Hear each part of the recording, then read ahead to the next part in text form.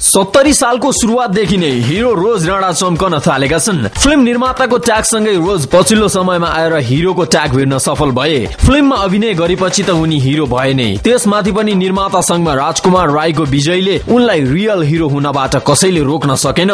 यिनै real हिरोको star value देखियो केही दिन अघि उनको आफ्नै जिल्ला प्युठानमा। प्युठानदेखि सपना बोकेर काठमाडौँ आएका रोज बाह्र वर्षपछि आफ्नो गृह जिल्ला प्युठान पुग्दा यस्तो देखियो जुन दृश्य बिरलै देख्न देख्न पाइन्छ। उनलाई स्वागत गर्न प्युठान सदरमुकामदेखि साढे दुई घण्टा वर दाङको भालुवाङमा युवाहरू रेडी थिए। करिब सत्तरीवटा बाइक र तेह्रवटा गाडीले रोजलाई स्कटिङ गरिरहँदा स्थानीय गाउँलेहरूलाई देशकै शक्तिशाली व्यक्तिको प्रवेश भएको आभास भएको थियो। देशका अत्यन्त उच्च होदाका व्यक्तिलाई समेत नगरिने उक्त स्कटिङ यात्राले दाङको भालुवाङदेखि प्युठानको स्वर्गदारी बहुमुखी क्याम्पससम्मको यात्रा रङ्गीनसँगै आश्चर्य लाग्दो बनाइदियो। कारण यस्तो यस्तो प्रकारको कसैलाई स्वागत भएको थिएन।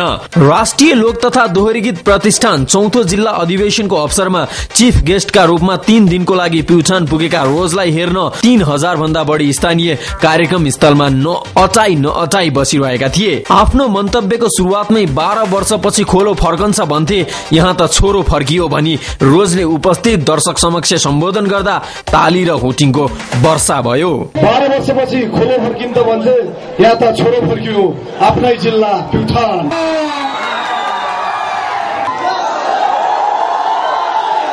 कति छिटो समय बितेछ अस्ति जस्तै लाग्छ। बाह्र वर्ष भएछ मैले जिल्ला छोडेर गएको। यो बाह्र वर्ष मेरो सङ्घर्षका धेरै अप्ठ्यारा सजिला परिस्थितिहरू मैले फेस गरेँ।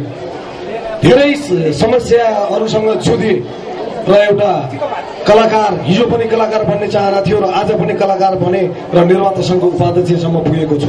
आज आफू कलाकार बन्नमा प्युठानको माटो र पानी मुख्य रहेको बताउँदै फिल्म इन्डस्ट्रीका यी रियल हिरोले आफ्नो संघर्षका बेला सहयोग गर्ने कोही नभए पनि हाल प्युठानीका लागि आफू रहेको बताउँदा स्थानीय हर्षले गदगद भए। म आज कलाकार हुनुको पछाडि प्युठान जिल्लाको पानी हो यो जिल्लाको माटो हो।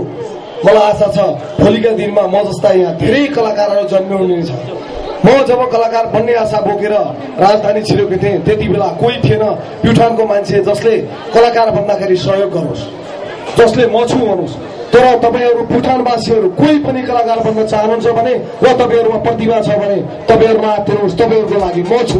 यदि कसैमा ट्यालेन्ट छ भने आफूले बनाउन लागेको नेक्स्ट फिल्ममा स्थानीय कलाकारलाई नै चान्स दिने बताउने रोजले अबको फिल्म प्युठानमा नै आएर निर्माण गर्ने समेत ठोकुवा गरे। तपाईँहरू भुटानवासीहरू कोही पनि कलाकार बन्न चाहनुहुन्छ भने र तपाईँहरूमा प्रतिभा छ भने तपाईँहरूमा आत्तिनुहोस् तपाईँहरूको लागि म छु।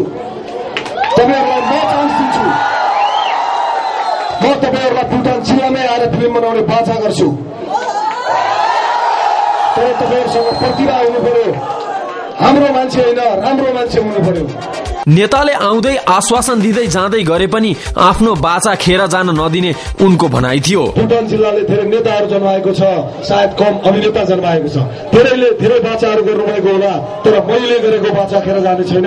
र म तपाईँहरूलाई फेरि पनि एकचोटि भन्न चाहन्छु तपाईँहरू प्रतिभा लिएर मेरो फोन नम्बर छ र मलाई फोन गर्नुहोस्। म तपाईँहरूलाई पक्कै पनि म भुटानको भुटानको यस्ता प्रतिभाशाली व्यक्तिहरू म देशलाई चिनाउने विदेशलाई चिनाउने व्यक्तिहरू हुनुहुन्छ कलाकारहरू भने म उहाँहरूलाई ब्रेक दिएर एउटा सक्षम कलाकार बनाउन सहयोग गर्नेछु प्युठानको कार्यक्रम सकाएर शुक्रबार राति नै रोज काठमाडौँ फर्किसकेका छन्